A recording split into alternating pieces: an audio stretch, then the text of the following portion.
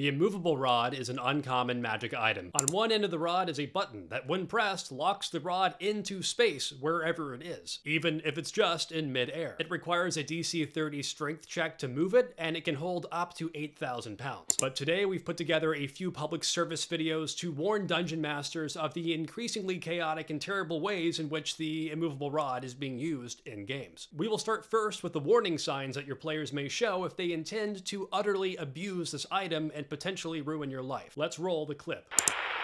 So since we're all starting at level 5, you can each choose an uncommon magic item to begin the campaign with. I'll take the Ring of Jumping. Ring of Jumping? I'll take the Rope of Climbing. Rope of Climbing? I'll take the Immovable Rod. Why did you say it like that? I'll take the Immovable Rod. Okay. Immovable Rod.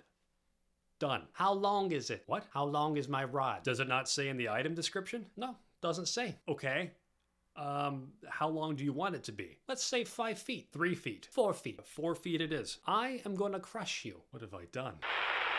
You may have noticed some of the classic signals already. The immediate request for the rod, the insistence on the rod being longer than it needs to be, the look of mischief and perhaps evil in the player's eyes, and of course the blatant assertions that the player would use the immovable rod to ruin the dungeon master. This is a good time to note that we do not recommend giving an immovable rod that is longer than two feet. This is for reasons that will become clear shortly. Now we will show you a series of videos that demonstrate how the immovable rod can be used to destroy a game or to crush the will and spirit of a dungeon master. Note that we are presenting these in subjective order of severity. We are saving what some are calling the orbital strike strategy for the end of our program. DM viewer discretion is advised. Okay, so you're all in the cargo hold of the infamous Tabaxi pirate Milkbeard's old and decaying ship. It appears though that they've undocked, and you feel the ship begin to accelerate in the high winds. Are we below the waterline? Um, yeah, you're you're in the cargo hold in the bottom of the hull. So I'm gonna orient the immovable rod parallel to the direction that the ship is moving, and I'm gonna activate it. Okay, you activate it. Um, well, I guess that means the ship's interior hull would crash into the rod. The rod can hold up to 8,000 pounds. Oh, well, the ship's more than 8,000 pounds, for sure. So, but now I gotta ask, would an old ship like this withstand up to 8,000 pounds of pressure on a small area without breaking? I guess you're right, no, it, it wouldn't. Yeah, uh, okay, so the immovable rod pierces through the hull of the ship, and it now begins to take on water and uh, it seems like it will eventually sink unless the hole is stopped up. Now, can I say that I deactivated it right as it pierces the hole so it doesn't get lost at sea and, you know, hurts a turtle or something? Fine. Okay, give me a dexterity check, but it's going to be a high DC. That is a nat 20. Are those the um, dice that I gave you? Yes, they are. Great. Uh, yeah, you are able to save your immovable rod, and the ship is still taking on water. As you saw in this clip, the immovable rod can have unexpected uses that have the ability to completely derail an entire voyage. We do recommend noting the rod's max weight limit of 8,000 pounds and its implications for future encounters. Let's go on to the next clip. Now that you swam into the shallows, you can face off against Captain Milkbeard, who says, Arr, you may have sunken me ship and drowned me crew, but I can do the same to you. And he draws his sword. We're already in initiative, so that makes it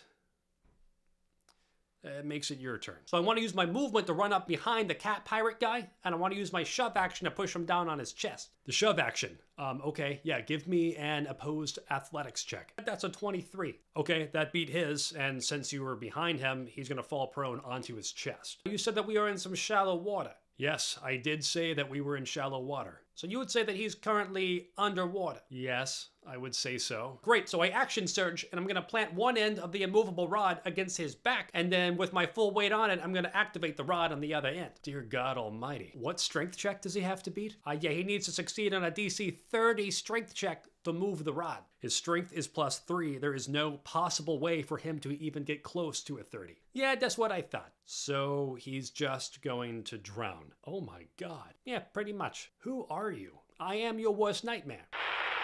We can generally recommend a few ways to prepare for this. First, you could make your bosses extremely strong, capable of achieving a DC 30 strength check if they needed to. Note that that is a strength check, not an athletics check. Second, you can give important NPCs the power of teleportation or at least telekinesis to press the button on the end of the rod. You can, of course, also have minions press the button to free the enemy. And while some DMs may not have allowed him to fall prone face down, this is why you need to limit the length of the rod, so that if your NPC is prone on their back, they can still reach the button to deactivate it themselves. And of course, while water was used to invoke suffocation rules in this example, any NPC, even on dry land, that is stuck prone and surrounded by player characters is most likely going to die a terrible death. And with that, a quick word from our sponsor. Today's episode is sponsored by Eldritch Foundry. Eldritch Foundry's free, web-based character creator lets you design and order personalized, lifelike miniatures for your tabletop games, with extraordinary levels of detail. The character creator itself boasts a vast array of weapons, clothing options, mounted units, and fully posable forms, meaning that creating your own fully customized epic miniature for D&D or other TTRPGs is just a click away. You can choose from printed miniatures, download downloadable STLs, or even opt in for their subscription option if you want unlimited downloads, which is great if you have your own 3D printer, for example. To try it out yourself, you can go to eldritchfoundry.com, which is also linked in the description. And while you're there, you can also join my free weekly email digest of nerdy stuff called the Arcane Almanac. It's packed full with all kinds of fun stuff, like the alchemy section, which has fantasy-themed cocktail recipes. You get a dice of the week, we've got riddles, we've got a d6 table of fortune. It also has a self self-guided adventure, and more being added every month. So go check out the Arcane Almanac, and thank you again to Eldritch Foundry for sponsoring today's video. We will now show a compilation of several quick scenarios before we talk about what some are calling the orbital strike strategy. Let's begin. I hold the rod above my head with my finger on the activation button as I test the room for pit traps. So I take the rod and I shove it up there so I can seal the rod up my sleeve and then I challenge a barbarian to an arm wrestling competition. So I activate the rod in the path of the cavalry, about chest high for the riders. I beat him over the head with the immovable rod. So I throw my hempen rope over the activated rod to use that as a pulley to hoist him out of the hole.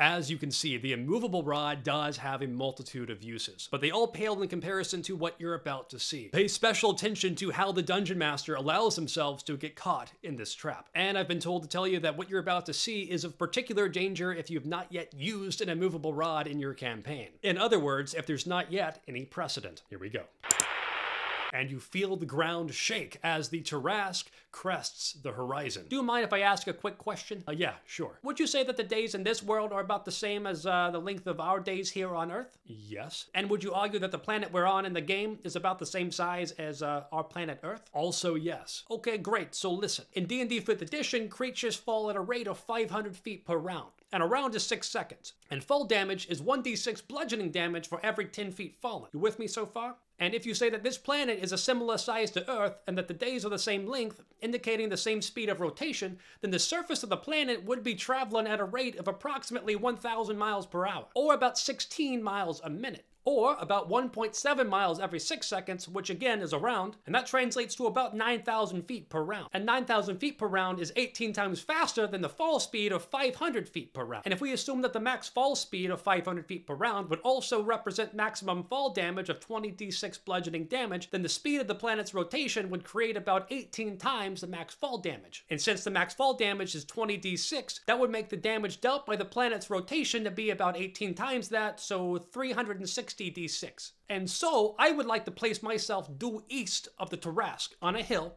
so that I'm approximately at its chest height. And then I activate the rod, which as the planet spins would deal about 360 d6 bludgeoning damage or an average of uh, 1,260 bludgeoning damage. If I allow this to work, you understand that there is a chance that it causes a minor cataclysm. Yeah, I'll take a cataclysm. Okay, fine. Um, you splatter the Tarrasque.